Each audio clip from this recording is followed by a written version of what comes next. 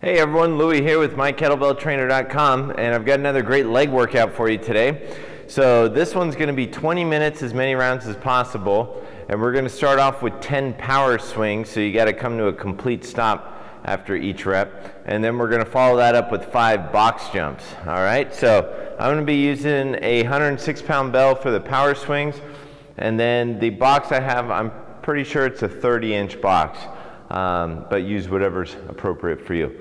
Okay, so uh, yeah, a lot of explosive movements on this one, so it should be lots of fun. All right, so I'm gonna get started and I'll be back here in a little bit.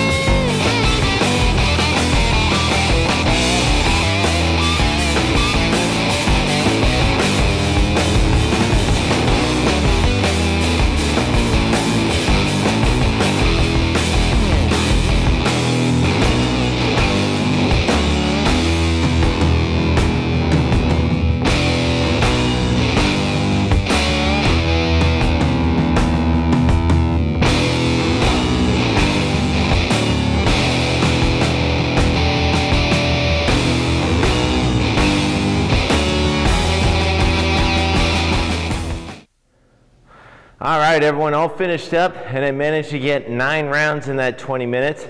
And I used a 106 pound bell for the power swings, and then a 30 inch box for the box jumps there. So, yeah, that was a good one.